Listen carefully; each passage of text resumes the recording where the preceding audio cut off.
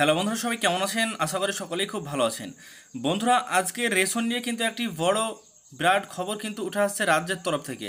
হ্যাঁ বন্ধুরা, ফ্রিতে রেশন নিয়ে, চাল, গম নিয়ে কিন্তু বড় খবর কেন্দ্রের তরফ থেকে উঠে আসছে। এছাড়াও রাজ্যকে জানানো হয়েছে, এবার থেকে কিন্তু রেশনে আটা কম দেওয়া হবে বা গম কম দেওয়া হবে, এবার থেকে চাল কিন্তু বেশি দেওয়া হবে। সেই নিয়ে কিন্তু জানানো হয়েছে রেশনের নতুন বরাদ্দ নিয়ে বড় পরিবর্তন করে দেওয়া হয়েছে। তো আজকের এই ভিডিওটির মাধ্যমে সম্পূর্ণ বিস্তারিত আমরা তথ্য জানতে চলেছি। তো তার আগে আপনাদেরকে বলে রাখি, যদি আমাদের ভিডিও ভালো লাগে লাইক করবেন, চ্যানেলটিকে সাবস্ক্রাইব করে রাখবেন। আমাদের নতুন নতুন ভিডিওর ইনফরমেশন আপনার কাছে ডেলি পাওয়ার জন্য। তো বন্ধুরা, রেশনে এবার থেকে কিন্তু যে রেশন আপনারা এর আগে পেতেন, সেই রেশনের লিস্ট এবার পরিবর্তন করে দেওয়া হয়েছে এবং রেশনের লিস্টে কিন্তু এবার বড় পরিবর্তন করা হয়েছে যেটা, সেটা হচ্ছে কি চাল কিন্তু বেশি দেওয়া হবে। এছাড়াও গম বা আটা সেটা কিন্তু কম দেওয়া হবে। তো চলুন নিউজের মাধ্যমে কি বলা হয়েছে আমরা বিস্তারিত জেনে নিই। তো বলা হয়েছে, দেখুন, খাদ্য সুরক্ষা প্রকল্পে গমের বদলে চাল সরবরাহ নিয়ে কেন্দ্রের সঙ্গে সংঘাতের রাজ্য। তো খাদ্য সুরক্ষা প্রকল্পে গমের বদলে চাল বরাদ্দ নিয়েও এবার কেন্দ্রীয় সরকারের সঙ্গে সংঘাতে বাড়ছে রাজ্যের। তো তারপর বলা হয়েছে, খাদ্য সুরক্ষা প্রকল্পে আগামী জুন মাস থেকে রাজ্যের প্রায় সাড়ে তিন কোটি রেশন গ্রাহককে গম পাবেন না। গমের বদলে ওই গ্রাহকদের চাল দেওয়ার সিদ্ধান্ত নেওয়া হয়েছে। রাজ্য খাদ্য দপ্তর এই সিদ্ধান্ত মেনে নিলেও এর কার্যকরিতা নিয়েই প্রশ্ন তুলেছেন খাদ্য দপ্তরের আধিকারিকদের একাংশ।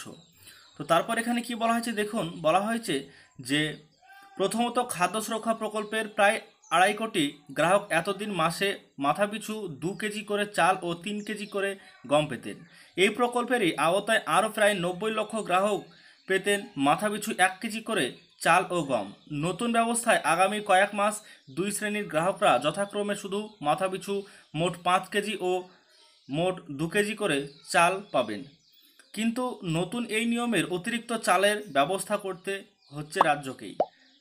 আর এখানেই শুরু হয়েছে সংঘাত। একের গমের পরিমাণ কমেছে, তার ওপর বাড়তি চালের বোঝা। রাজ্যের বক্তব্য, বাড়তি চাল যোগাতে হবে কেন্দ্রকে গ্রাহকদের জন্য যে অতিরিক্ত চাল প্রয়োজন হবে, তা এফসিআইকে সরবরাহ করতে বলা হয়েছে। এই অতিরিক্ত চাল সরবরাহ করার দায়িত্ব খাদ্য দপ্তর কোনোভাবেই নেবে না। রাজ্য সরকারের বিরোধের আরও একটি কারণ হচ্ছে পশ্চিমবঙ্গের মানুষের খাদ্যাভাস বদল। কেন্দ্রীয় সরকারের আচমকা এই সিদ্ধান্তের ফলে আটার দাম বাড়ার আশঙ্কা করছে খাদ্য দপ্তর। খাদ্য দপ্তরের এক আধিকারিকের কথায় গম সরবরাহ কমিয়ে দেওয়ার অসুবিধায় পড়বেন গ্রাহকরা, কারণ বাংলার মানুষের খাদ্যাভাস পাল্টে গিয়েছে।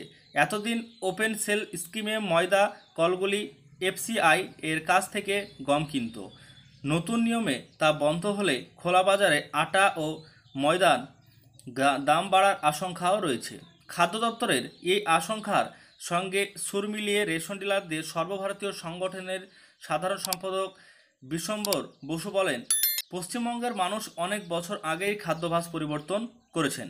বেশিরভাগ মানুষ দুপুরে ভাত খান, সকালে এবং রাতের রুটি খেতেই অভ্যস্ত। সেক্ষেত্রে কেন্দ্রীয় সরকারের যে গমের বরাদ্দ কমিয়ে চাল বাড়িয়ে দেওয়ার সিদ্ধান্ত নিয়েছে, পশ্চিমবঙ্গের মানুষের জন্য ক্ষতিকারক হয়ে দাঁড়াবে। তাই রাজ্য সরকারের কাঁধে কাঁধ মিলিয়ে আমরা কেন্দ্রীয় সরকারের বিরুদ্ধে লড়াই করতে চাই।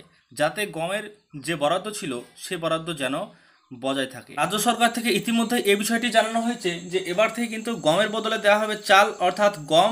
আমরা চাল, গম এর আগে পেয়েছি এবং এই মে মাসেও কিন্তু একই রকমভাবে দেওয়া হয়েছে, কিন্তু আগামী জুন মাস থেকে পাল্টে যাচ্ছে নিয়ম এবং কেন্দ্র সরকারের তরফ থেকে জানানো হয়েছে এবার থেকে গম কম পাওয়া যাবে এবং চাল কিন্তু বেশি পাওয়া যাবে এবং কেউ কেউ কিন্তু গম পাবেনই না, শুধুমাত্র চালই কিন্তু নিতে হবে। তো এই বিষয়টি ইতিমধ্যেই কিন্তু জানানো হয়েছে। আপনাদেরকে আজকের এই ভিডিওটির মাধ্যমে আমি জানানোর চেষ্টা করলাম লেটেস্ট নিউজ তো আজকের ভিডিও যদি ভালো লাগে লাইক করবেন। আমাদের চ্যানেল থেকে কিছু জানতে পারলে চ্যানেলটিকে সাবস্ক্রাইব করে রাখবেন। নিয়মিত পরবর্তীতে আপডেট পাওয়ার জন্য। সবাই ভালো থাকবেন ধন্যবাদ, দেখা হবে আবার নতুন